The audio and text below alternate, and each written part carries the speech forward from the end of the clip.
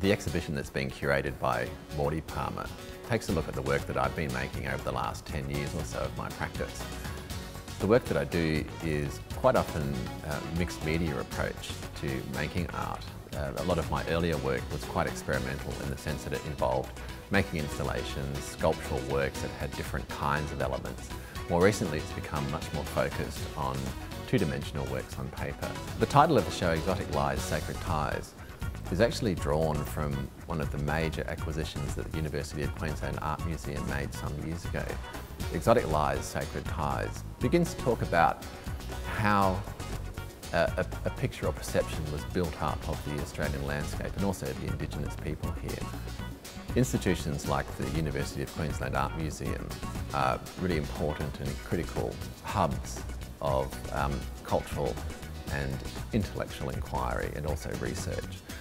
So as part of the exhibition there will be a number of masterclasses and also public forums where we can begin to see how an environment and an institution like the museum uh, plays a very important role in developing an integrated approach to both education and research.